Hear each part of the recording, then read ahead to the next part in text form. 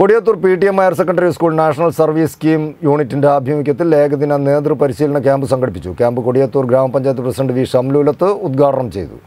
Principal M S Biju അധ്യക്ഷത വഹിച്ചു. J C I trainer Shahid അളറ്റിൽ ശില്പശാലയ്ക്ക് നേതൃത്വം നൽകി.